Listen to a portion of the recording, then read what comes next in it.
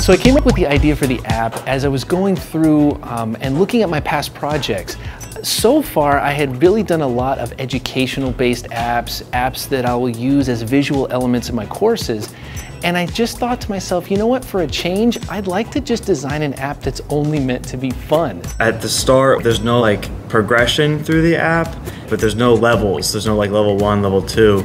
So that was one of the things we recommended to change. I wanted to make sure that I was creating an app that would reach people. So I took this idea to our chemistry department. I had students, current majors, test the game. They were my beta testers. I recommended even more music, so it's not the same couple songs that are playing over and over again.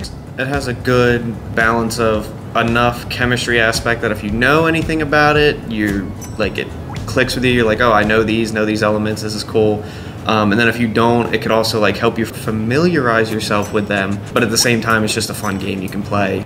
As a faculty member, I could really see that the students started to get interested in this process. They, they were experiencing a different aspect of their education here. I think the most interesting thing about it for me was realizing how hard it would be to make an app. I was able to um, learn some other things that wasn't part of the normal curriculum you would learn every day. Here at Stevenson, students are not only going to get the education they need with the content knowledge and the lab experience, they're also going to get to take part in all of these community experiences like helping to design an app or our yearly chemistry magic shows and so many other activities that bring us together as a chemistry department and as a community